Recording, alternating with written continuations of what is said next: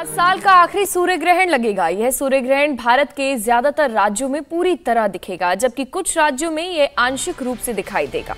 सूर्य ग्रहण भारतीय समय के मुताबिक दोपहर दो बजकर उनतीस मिनट पर आइसलैंड में शुरू होगा जो शाम को छह बजकर बीस मिनट पर अरब सागर में खत्म होगा। भारत में यह सूर्य ग्रहण शाम लगभग चार बजकर उनतीस मिनट से शुरू होकर शाम पाँच बजकर बयालीस मिनट पर खत्म होगा। देश के कुछ इलाकों में सूर्य ग्रहण शाम छह बजकर नौ मिनट पर भी खत्म होगा। भारत में ग्रहण का मोक्ष काल सूर्यास्त के साथ ही हो जाएगा। ग्रहण के दौरान सूरज का 36 परसेंट भाग चंद्रमा में छिप जाएगा और सूर्य ग्रहण का सूतक काल 12 घंटे पहले शुरू हो चुका है। आज सुबह चार बजकर उनतीस मिनट से सूतक काल शुरू हो गया है। भारत में दिखाई देने की वजह से इसका सूतक काल मान्य होगा जिसकी वजह से सूतक काल में कोई भी धार्मिक कार्य नहीं होंगे। मंदिर के कपाट भी इस बीच बंद रहेंगे। केदारनाथ, बद्रीनाथ, काशी विश्वनाथ, महाकाल समेत देश के सभी मंदिरों में कपाट पूरे सूतक काल में बंद रहेंगे। सूर्य ग्रहण का जितनी ज्योतिषी मान्यता है, उतनी ही वैज्ञानिक पे है।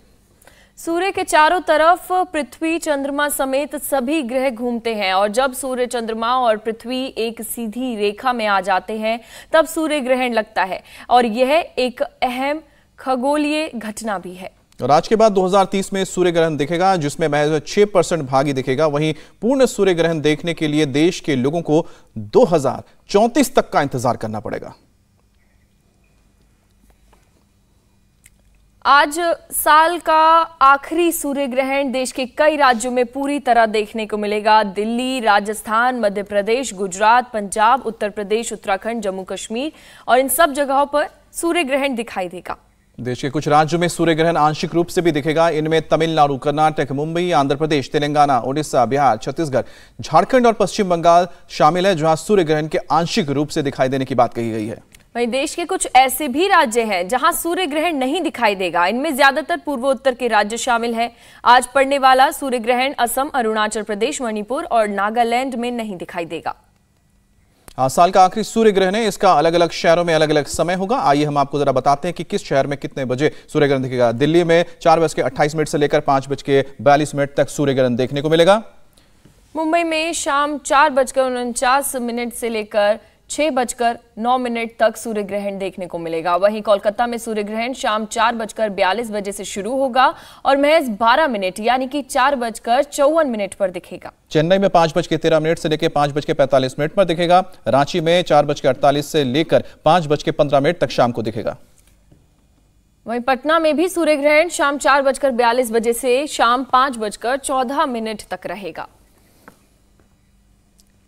तो आज इस साल का आखिरी सूर्य ग्रहण है। हालाँकि अगले महीने 8 नवंबर को पूर्ण चंद्र ग्रहण भी होगा और आज का सूर्य ग्रहण यूरोप, उत्तरी पूर्वी अफ्रीका, मध्य और पश्चिमी एशिया एशिया, ऑस्ट्रेलिया, अमेरिका और प्रशांत महासागर में दिखाई देगा।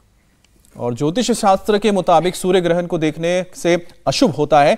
वहीं वैज्ञानिकों का मानना है कि खुली आँखों से सूर्य ग्रहण ना देखा जाए, क्योंकि इससे आँखों में अल्ट्रावायलेट रेस पहुँच सकते हैं, जो आपको नुकसान पहुँचा सकती है। विशेषज्ञों की माने तो सूर्यग्रहण को सीधे आँखों से नहीं देखना चाहिए और साधारण फ़िल्टर या धूप के चश्मे से ना देखें। पानी और रंगीन पानी में भी इसकी परछाई देखने का प्रयास ना करें। केवल अप्रूव सोलर फ़िल्टर से ही सूर्यग्रहण देखें। पिनहोल कैमरे से सूर्य का प्रति प्रतिबिंब दीवार पर बनाकर उसको सुरक्षित देखा जा सकता है। इंडिया टीवी हर वक्त हर जगह। डाउनलोड करने के लिए सर्च करें India TV news Google play store या एप स्टोर पर।